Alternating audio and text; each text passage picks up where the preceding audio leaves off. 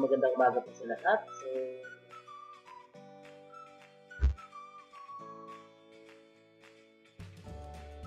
Okay, good morning po sa lahat. My mga teacher, good morning po sa mga miss yung aking video lesson uh, during this act. Ayan. So, ito po, meron po akong ginawang video para po sa inyo. Uh, how to create a video recording gamit po ang PowerPoint at discuss ni Sir Marlon. And same time po ay mag-edit po tayo gamit po ang Filmora. Okay po. So, this video po pwede po ulitin sa kung ng video. Ayan. At kong mag-edit ng video nyo ginawa nyo sa PowerPoint. Any video pwede nyo na po natin ganun. Okay po. So, ready po natin ang if you are interested, kayo po ay interesadong malaman uh, mga video recording ginagamit po natin gamit ang PowerPoint.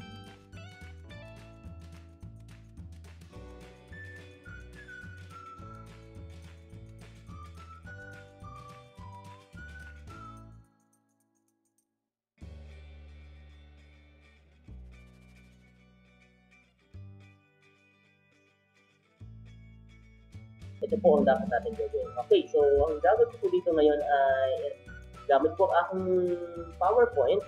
So, ito po, nire-record ko na po yung aking, yung aking ginagawa. Ito po. So, ngayon, pwede na po na po yan po. So, naka-record na po ito. So, dito, make sure po na naka-on po yung ating camera, audio, and then naman po nakikita. As you can see naman po, nakikita po yung mukha. Uh, at the same time, yung presentation po ay nakikita rin po. So, this one is natatakpan po. So, mamaya po sa editing, malalaman po natin kung paano po siya i-edit. Basta po ang importante, ayan. Ayusin po natin. Uh, lagyan po natin ng pointer. Ayan, so makikita niyo po dito. Ayan, meron na po tayong video. So, make sure po naka-on po yung audio. Ito po yun. Yung microphone.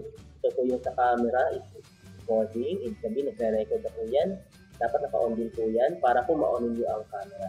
So, yan po. So, yan po yung setup na gagawin natin in recording. Okay, gamit po ang PowerPoint. Okay po, so this one po ay naka-play na po siya kasi po sinama ko na po yung aking introduction kung paano po gagawin natin para po may idea po kayo kung paano po siya re-record gamit po ang PowerPoint. Okay, so dito, meron po tayong tatlong button. So, hindi ko sa Sir Marlon, meron tayong pause, meron tayong stop, meron tayong replay. Okay, so, uh, tip lang po, kapag po tayo ay mag-re-record na ng presentation, like, just like this, gamit po ang PowerPoint, dapat po nakasetup na po ang lahat.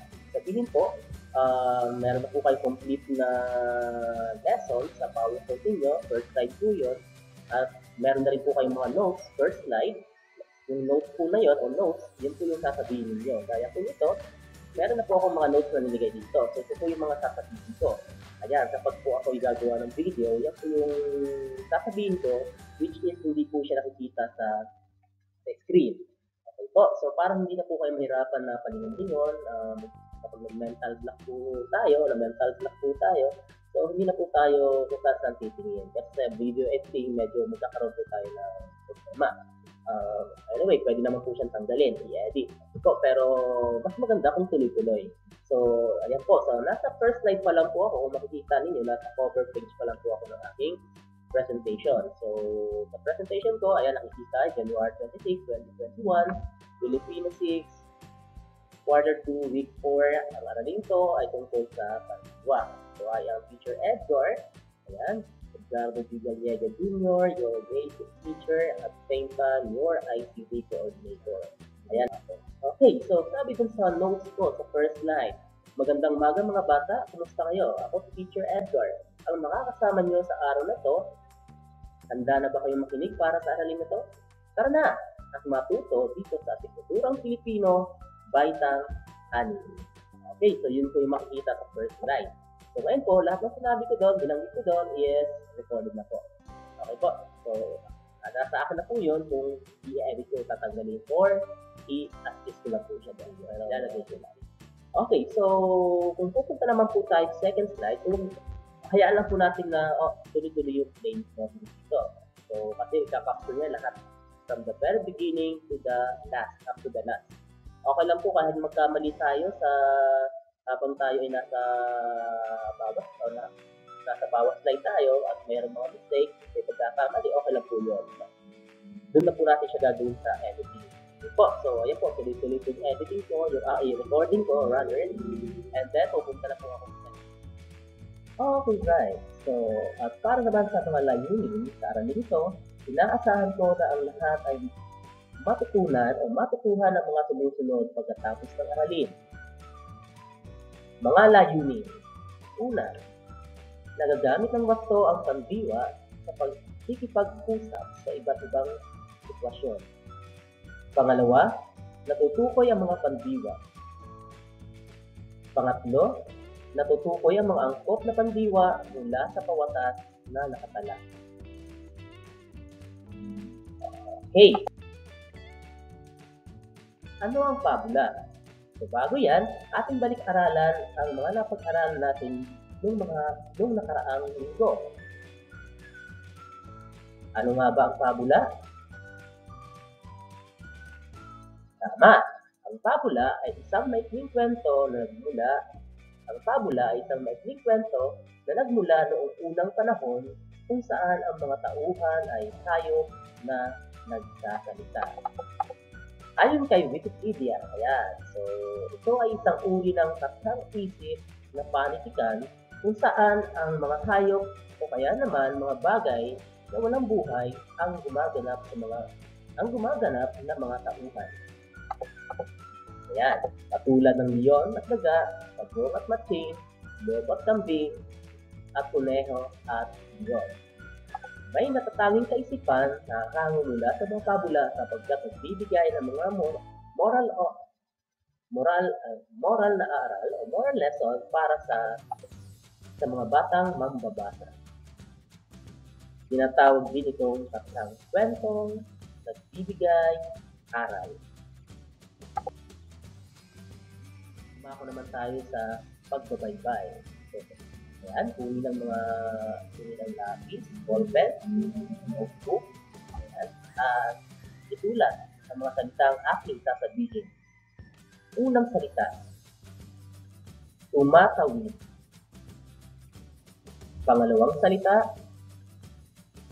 katutulog. Pangatlong salita, kakain. Pang-apat na salita, umalis. Panglimang salita, bubuhusan. Pang-anim, nagtatalunan. Pang-pito, kasasampay. Pang-walo, nagpupunan. Pang-siyam, aminin. At panghuli, tinulak. Okay? Sagutan. Ating sagutan ang inyong mga itinulat ng mga salita. Okay, okay. So, tingnan at sagutan kung tama ang inyong sulat. Okay. Alright. Ano nga ba ang pandiwa? Okay, pandiwa sa Filipino, verb sa English. English. English. Verb in English.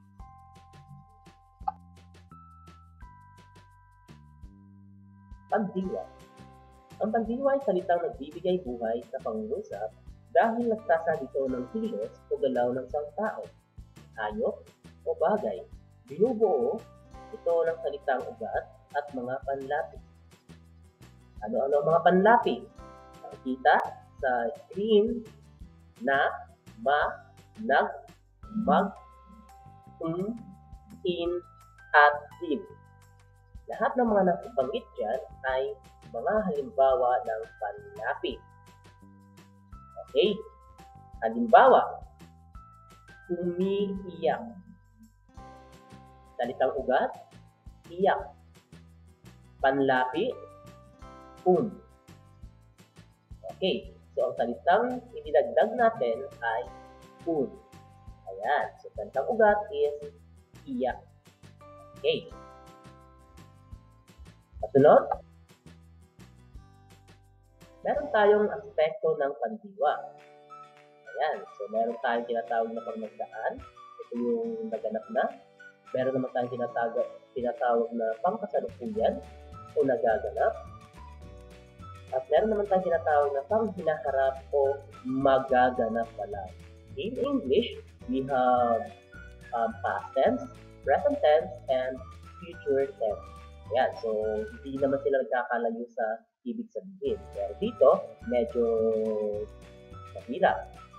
Okay, ano nga bang pagnagdaan o past tense o naganap na? Ang kilos ay ginawa na, tapos na, o nakalipas na.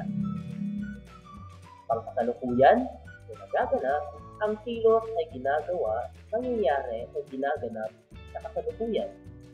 Pang hinaharap o magaganap pa lang, ang kilos ay hindi na magaganap at gagawin pa lamang. Pang nagdaan o naganap na, ang kilos ay ginawa na tapos na o nakalipas na. Okay, mga halimbawa, kahapon, noon, kanina, nakaraang, buwan o araw. Mga panlaping ginagamit natin dito, maaaring na, nag, um, in. Okay, tandaan ang mga pangnagdaan na ganap ng salita na ginagamit. Halimbawa, panlapi plus salitang ugat. Salitang ugat, tulong. Panlapi, na. Naganap na. Okay, pagsamahin natin yung panlapi at salitang ugat, tayo ay makakabuo ng natulog. Salitang natulog. So, kapag sinabi mong natulog, ang salitang ito ay natapos na. Okay po? So, kanina po ba sa lahat ang aking sinasabi? So, natulog, natapos na.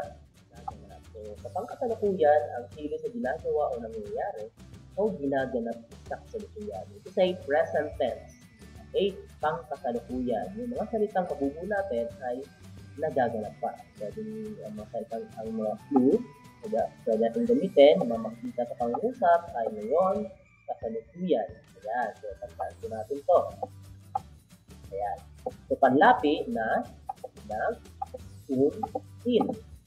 Okay, so halimbawa, panlapi plus dalawa, isang pantig plus dalawa isang pantig plus salitang ugat. So ano po yun? Salitang ugat na natin yung panlapi na sinabi natin na ang salitang mabubuo natin para sa aspektong nagaganap ay natutulog. Okay, bakit siya natutulog? Dinoble yung 2. Meron tayong pinakang formula dito.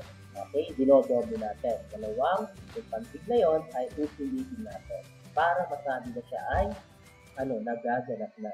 Okay po. So, tulog, panlapit na, ang mabubuo nating salita sa aspektong nagaganap ay natutulog. Okay, meaning to say, ang salitang natutulog ay ang bata, halimbawa ang bata ay natutulog, so yung bata ay kasalukuyan o nangyayaring siya ay natutulog pa. Meaning to say, present tense. At the moment ay yung bata ay natutulog. Ayan po, ito yung, yung ibig sabihin niya doon. Natutulog. Sanay, kain. Same pa rin po, kain tayo, araw, takbo, tapon. So, pipili natin na nag-ukin. Ito po, bibigyan po natin to. Panlapi, ayan, halimbawa, dahil tayo ay nasa nagaganap, so, kain, um ang gagamitin natin, so, um, ayan, so, uulitin yun, nagaganap, kumakain. Kain. Ang nagaganap is kumakain. Kumakain. So, ano po yung inulit doon? Yung ka. Kumakain. Ayan po ha. Okay po. So, may panting na inulit po doon. So, yung ka. Kumakain. Dalawa. Diba kanina nabanggit plus? Dalawa isang pantig na ininit. So po, para magkaroon tayo ng nagagana. Kain, kumakain. Tayo, tumatayo. Ayan. Aral. Nag-aaral. So, nag po yan. Ito um. Ito nag. Takbo. Tumatakbo. Ayan, um pa rin po. Tumatakbo. Ita ang naulit. Tapon. In. Pinatapon. Ayan. So, pinatapon. So, in po siya dito. In. At saka, um. Okay po. So, yun po yung nagaganap. So, yun yung mga salitang nagaganap o nangyayari pa sa kasalukuyan. Po. Yung part na yun. So, ito dapat So, paano po siya i-discuss dito sa presentation? Mas maganda po, tip lang po sa naging record. So, kapag po siya diniscuss dito, dapat nandun na po siya lahat.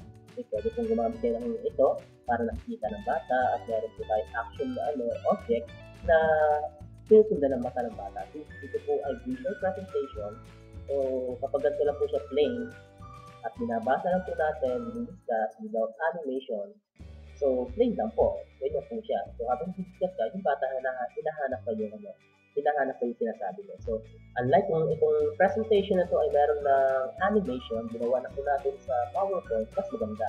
At bawat sasabihin natin, andun na, lalabas na siya. Okay po. So, click lang kasi ng click yun. Next naman next. Dito, pwede naman tayo gumamit ng highlighter kung natin part na tayo sa Okay, pang hinaharap o magaganap pala, ito yung mga hindi pa nangyari, hindi pa nangyari, o hindi pa nangyayari. Ayan. Bukas, mga ginagawa natin, bukas, mamaya, sa susunod na araw, sa lunes, sa darating na taon. Ito say, ito yung mangyayari in the future. Mangyayari pa lang sa hinaharap. Okay? Panlaping ginagamit is ma or mag. Halimbawa, panlapi, ayan, last, salitang ugat, o dalawang pantig. So, may isang pantig na inulit doon, so kaya naging dalawa siya. So, yun po. Okay? Para maging pang hinaharap o magaganap na. Halimbawa, tulog. Panlapit na. So, ang gagawin natin, matu- magaganap pa lang, ma, yun ang pwedeng matulog. So, yun ay uh, matulog. Hindi siya ma sa magaganap pa lamang. Okay, so ang gagawin natin is matutulog. Matutulog in the future. So, ang bata ay matutulog pa lamang. Ayan. Ang bata ay matutulog sa bahay. So, ibig sabihin, hindi pa siya nangyayari. Okay po. Kain tayo, aral, takbo, tapos. Okay. So, panlapit na kain para maging pang hinaharap magaganap pa lang, we can use o uh, pwede tayong gumamit ng ma at mag. Ayan po. Kain. Dito, pwede nating hindi naman pwedeng ma, makain, no? Hindi naman pwedeng mag, magkakain, magkain, no? So, ang gagawin natin, para ulitin, yes, meron tayong salitang ugat. So, kakain. So, salita dito is kakain. Ayan panlapit ka, and then magaganap is ang bata ay kakain pa lamang. Kakain. Hindi pa hindi pa nangyayari. Tayo.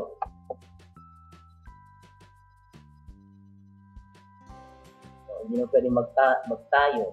Matayo. Hindi po. So, dito, walang tanong na dito. Tatayo. Yan. Tayo ay tatayo itatayo, itatayo, itatayo, tatayo. Tatayo ang tatayo. Wala na salitang tayo. Tayo. Tumatayo.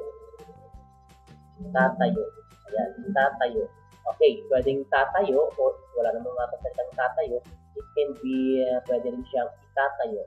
Okay, so yun itong panlaki. Itatayo. Ta. Ita magaganap. Tatayo. Okay? Aral, mag-aaral. So, pwede tayo mag mag, mag-aaral. Ayan. So, magaganap po yun. Takbo, tatakbo. Ayan. So, plus, tatakbo. Okay po. Ulit yung ta. So, tatakbo pala. Okay po. Tapon. Magtatapon. Okay, magtatapon. Ulitin ko lang po. So, number one, kakain, tatayo, mag-aaral, tatakbo, tatapon, magtatapon. Okay? Ayan, magtatapon. Sige na. Next po. So, naganap na. Halimbawa, naganap, naganap na, nagaganap, nagaganap pala. Okay, so ito yung mga halimbawa. Meron po. Okay, so meron po tayo sa mga halimbawa. I hope na naitignan po yung tatlo aspect ng pagdiwa. Ang naganap na, nagaganap, at magaganap pala. So, let us have this example. Ako ay Okay, so nagwalis kahapon. Yan. Ako ay nagwalis kahapon. Kahapon yun. Okay, naganap na. Nagaganap, ako ay nagwawalis ng bakuran. At yan, nagwawalis, present. Kasi kung kasalukuyan nangyayari. Nag magaganap pa lang, ako ay magwawalis ng bakuran bukas. Ako ay magwawalis ng bakuran bukas. So, mayroon salitang bukas, ito pa pala siya magwawalis. So, nandun na yung clue, magwawalis sa future tense na yan. Magaganap na lang. Okay? Naganap na mga palatandaan sa hapon doon, kanina, nakaraan din buwan o nakaraang araw. Magaganap, ngayon, bukas, ay ngayon, kasalukuyan, pinabukas na. Magaganap pa lang yung bukas, mamaya, sa susunod na araw, sa linggo, at sa darating na araw. Okay, so, para sa pagsasanay, aking sagutin ito, ang mga salitang sa tuwa. Okay, ayan, pagsasanay letter A, salitang ugat ang susugatin nyo. Sugat natin sa kanang bahagi. Okay, so that's 1 to 10. Mga salita, umiiyak, kumakanta, lumalangoy, nagtatanim, nagpaglalakad, aakyat, susuko, sumisidon, sumasayaw, mag-aaral. Okay, salitang ugat. Uh, umiiyak is iyak. Okay, so, lagyan ng mga salita ano, okay? Kumakanta, kanta, ayan.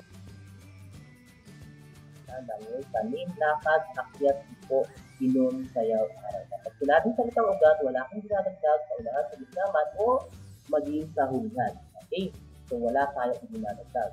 Meaning that is only the root word or only the root word. Yan lang dinagdag na kahit ano. Okay? Napanin natin. Letter C, ang po, naganap na, hindi naman po nila, naganap na, nagaganap, nagaganap na lamang. So, may mga salita ng ugat dito na makikita sa kaliwa, sa first column, at second ay nagaganap na, naganap na, third column is nagaganap, fourth column is magaganap na lamang. Okay? Awit, Sinari, kaya sila nagpapagara. Sinari, umaawit, aab. Po, so, that's all for today. So let me, before we end, let me leave this to you. Is fine. Actually, uh, Filipino to English po ang aking iniwan. So, ang presentation is galing sa English po. Uh, pass is fine, but a okay lang po maging mabilis tayo sa lahat ng bagay. Pero dapat lahat ng ating ginagawa ay tama at maayos po. Okay, so para maiwasan po natin ang paulit-ulit that's it for today. I am Teacher Edgar. Thank you for listening. Keep safe, everyone. Bye! Okay. Ganun ko. Tapos na po yung presentation ko from sa simula. Meron akong binanggit ko yung aking mga natawag nating introduction. Meron tayo naman na tinatawag na panghuli na sasabihin niyo bago magtapos ang lesson. Okay po. So, ayun. So, ngayon, tapos na presentation ko. Recording pa rin po ito. So, ang gagawin ko po kasunod ay i-click ko po yung stop. Ayan po. So, nandito po yung stop. Click ko lang po yan.